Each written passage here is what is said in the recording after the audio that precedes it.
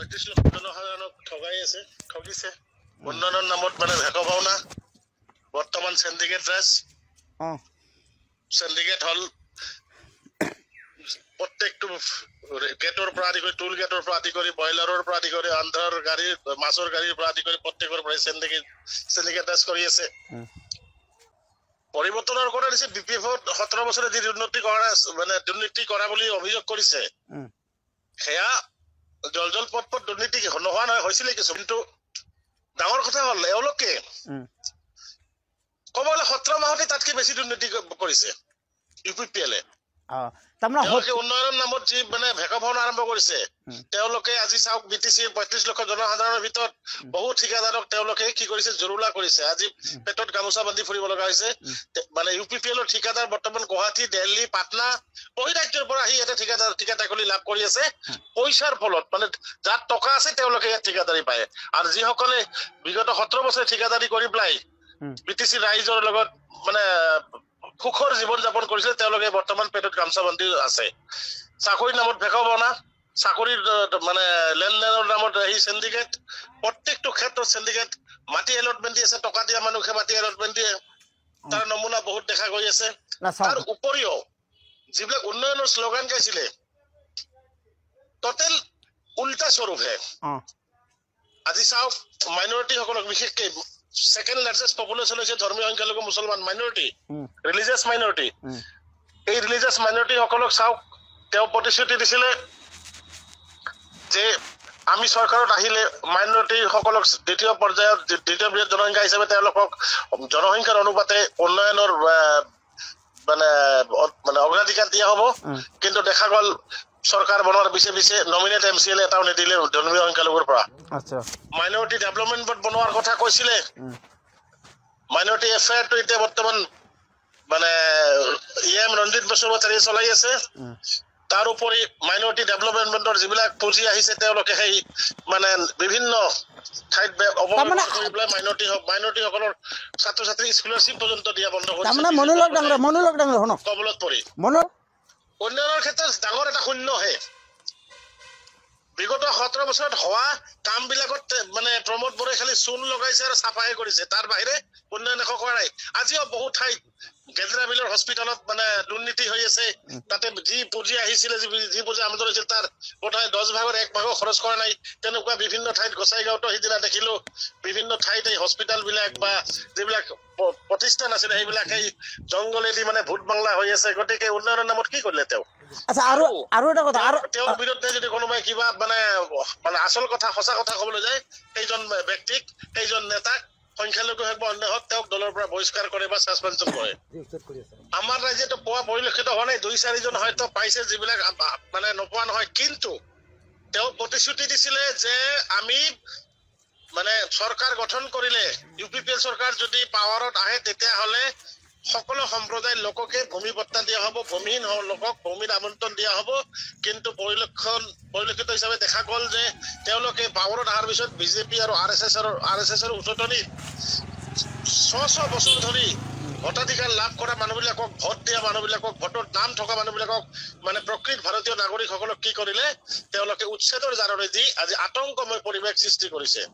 তেওঁলোকে ভূমিৰ পট্টা ক'ত দিব উচ্ছেদ কৰাৰ কথাই কৈ আছে। পি এম ৰঞ্জিত ডাঙৰীয়াই কি কৈ আছে? কাৰো লগত আপোচ কৰা নহব প্ৰত্যেকক উচ্ছেদ কৰা হ'ব। কিন্তু আমি দাবী জনাইছো বা মই দাবী জনাইছিলো এতিয়াও দাবী জনাও যে প্ৰত্যেক লোককে ভূমি পট্টা দিয়ক সংস্থাপন দিয়ক আৰু সংস্থাপন দিয়াৰ পিছতে উচ্ছেদ কৰক। অন্যথাই আমি কংগ্ৰেছ দলৰ পৰা কেতিয়াও মানি নলম। দলত ভাল পাইছিল। আপোনাক কেন্দ্ৰীয় উপ সভাপতি হিচাপে প্ৰণৱ বৰা নিযুক্তি দিছিল। আপুনি কিয় ত্যাগ কৰিলে? ত্যাগ কৰাৰ এটাই কাৰণ উচ্ছেদ তেওঁৰ যেতিয়া জাননী দিলে তেওঁলোকে কৈছে এইবিলাক মানে হেৰি ৰাজ্য চৰকাৰৰ হস্তান্তৰ কৰি আছে আমি কৰা নাই। কিন্তু তেওঁ তেনেহলে কিয় প্ৰতিশ্ৰুতি দিছিলে সেই নিৰ্বাচনৰ সময়ত? যে মানে বি টি চিত দুই হাজাৰ দুই হাজাৰ তিনি চনৰ মানে দহ ফেব্ৰুৱাৰীলৈকে যিসকল ব্যক্তি ইয়াতে বসবাস কৰিছিল তেওঁলোকে প্ৰত্যেকে ইয়াৰ নাগৰিক তেওঁলোকক ইয়াৰে সংস্থাপন দিয়া হ'ব ভূমি অধিকাৰ দিয়া হ'ব অন্ন বস্ত্ৰৰ অধিকাৰ দিয়া হ'ব তেওঁলোকক ইয়াতে সুৰক্ষিতভাৱে ৰখা হ'ব। পিছ বি টি চিত আমি সকলোকে শান্তিৰে জীয়াই থাকিবলৈ দিম। কিন্তু তেওঁ মানে বিজেপিৰ চক্ৰান্ত হওক বা অসম চৰকাৰৰ কুচক্ৰান্ততে হওক আজি এই উচ্ছেদৰ যিবিলাক মানে উচ্ছেদ কৰি আজি খ্ৰীষ্টান বিলাক হওক বা বিভিন্ন ব্ৰিটিছৰ উত্তৰ অঞ্চলত বড়ো সম্প্ৰদায়ক উচ্ছেদ উচ্ছেদ কৰিছে আৰু মুছলমানসকলক টাৰ্গেট কৰি লৈছে উচ্ছেদ কৰাৰ। উচ্ছেদ কৰাৰ আগতে তেওঁলোকে মই প্ৰশ্ন কৰিছিলো বা মোৰ দাবী আছে দাবী আছিলে যে উচ্ছেদ কৰাৰ এটা সংস্থাপনৰ ব্যৱস্থা কৰক। সংস্থাপন কৰাৰ লগে লগে ল'ৰা ছোৱালী বিলাকৰ পঢ়া শুনাৰ পৰা স্বাস্থ্যৰ স্বাস্থ্যৰে পৰা আদি কৰি খোৱা পানীৰ বিভিন্ন ব্যৱস্থা বিলাক কৰাৰ পিছত উচ্ছেদ কৰক। কিন্তু দাদা তেওঁলোকে সেইবিলাক নকৰি মানে উচ্ছেদৰ জাননী আছে। যাৰ কাৰণে মই ইউ পি পি এল দল ত্যাগ কৰিছো। আৰু বহুত কাৰণ আছে যিবিলাক মই হয়তো নমিনেট ছিলে নিদিলে ধৰ্মীয় সংখ্যালঘুৰ পৰা। আমি ধৰ্মীয় সংখ্যালঘু অকল বিদেশীৰ দ্বিতীয় বৃহৎ জনসংখ্যা। তাৰোপৰি হজ ভৱনৰ প্ৰতিশ্ৰুতি দিছিলে। হজ ভৱনৰ নামত মাটি আবণ্টন দিলে ৰাইজে। মাটি ভূ মাটি দান কৰিলে সেই মাটিত আজিলৈকে এক গাড়ী পাথৰ নপৰিলে তাৰ উপৰিও মানে বি টি চিত থকা। দহটা মহকুমাত ধৰ্মীয় সংখ্যালঘু অধ্যক্ষিত এলেকাবিলাকত এটা এটা কৰি প্ৰেক্ষাগৃহ বনোৱাৰ প্ৰতিশ্ৰুতি দিছিলে। যাৰ নাম হ'ব শংকৰ আজান আচ্ছা ভৱন শুনক। শুনক সেয়াও আ, নকৰিলে দা- দেৱীতাই মুছাৰিফ খানা খুলি দিম আজিলৈকে হোৱা নাই। সেইবিলাক ভেক ভাওনা বা সেইবিলাক জুমলাবাজৰ কাৰণেতো মই ইউ পি পি এল দল ত্যাগ কৰাৰ কাৰণে বাধ্য হলো। প্ৰমোদ বড়ো যদি ইমান শক্তিশালী নেতা হয়। আজি কিয় আমাৰ যিগৰাকী মুখ্যমন্ত্ৰী আছে বলিষ্ঠ মুখ্যমন্ত্ৰী ক'ব লাগিব অসমত? হয়। আমাৰ হিমন্ত বিশ্ব ডাঙৰীয়া। তেখেতৰ কথাত কি উঠাব কৰে তেওঁ? যাৰ কাৰণে- যাৰ কাৰণে আজি- শুনক। টোটেলি তেওঁৰ ৰিমট কণ্ট্ৰল হৈছে হিমন্ত বিশ্ব শৰ্মা ডাঙৰীয়াৰ লগত অসমৰ মুখ্যমন্ত্ৰীৰ লগত।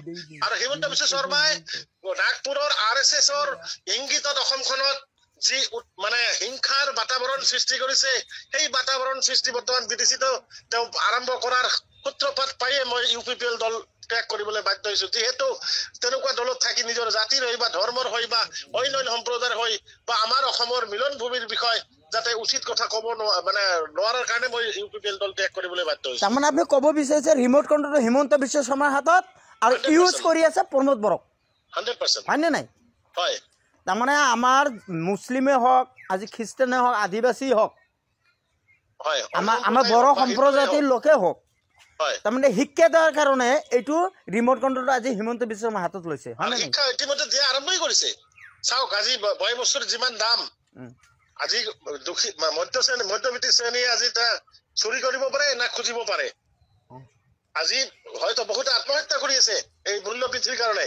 হিমন্ত বিশ্ব যেতিয়া চৰকাৰ গঠন কৰিলে কৈছিল যে আমি এন আৰ চি কৰিম।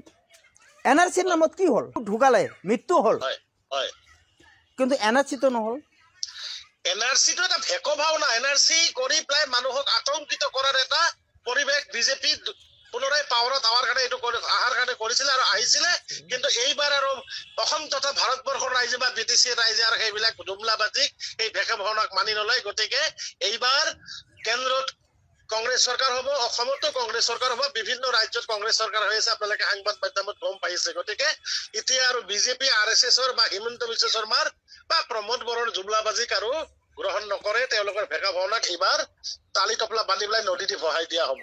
আপুনি বি টি আৰবাসীক কি আহ্বান জনাব আগন্তুক নিৰ্বাচনত? মই আগন্তুক নিৰ্বাচনত বি টি আৰবাসীক এটাই আহ্বান জনাম যে হিংসামুক্ত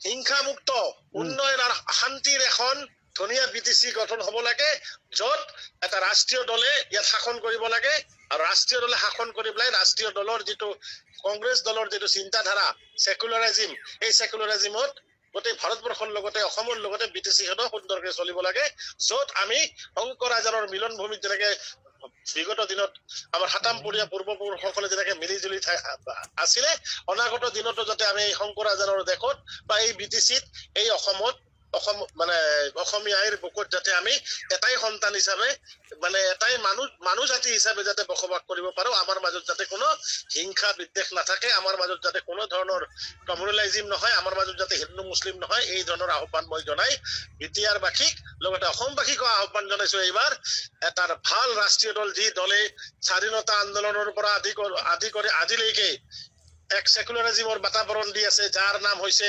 বৰ্তমান হৈছে তাৰ মানে দক্ষ নেতা হৈছে ৰাহুল গান্ধী। ৰাহুল গান্ধীৰ আহ্বানত যেনেকে গোটেই উত্তৰ গোটেই উত্তৰ ভাৰত দক্ষিণ ভাৰত কন্যাকুমাৰীৰ পৰা একেবাৰে দিল্লীলৈকে যে এটা আলোড়ন সৃষ্টি হৈছে কংগ্ৰেছ জিন্দাবাদ ৰাহুল গান্ধী জিন্দাবাদ আমাৰ উত্তৰ পূৰ্বাঞ্চল অসম তথা বিটিচিত এই একেই জয় গান আমি সকলোকে গাই। আমি কংগ্ৰেছ দলক সকলোকে সমৰ্থন কৰি ভোট দি পেলাই এইবাৰ কংগ্ৰেছ চৰকাৰ হয় হয় মনিলাল ডাঙৰীয়া আপোনাক আমাৰ নিউজ চেনেলৰ পৰা আপোনাক ধন্যবাদ জ্ঞাপন কৰিছোঁ। ধন্যবাদ জনাইছো আপোনালোককো এইখিনি কথা মানে কোৱাৰ কাৰণে সুবিধা দিয়াৰ কাৰণে। Thank U welcome